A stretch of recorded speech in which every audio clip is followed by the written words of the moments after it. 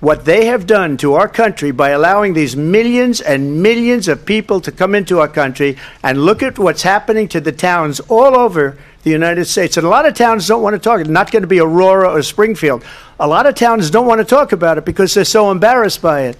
In Springfield, they're eating the dogs, the people that came in. They're eating the cats. They're eating they're eating the pets of the people that live there.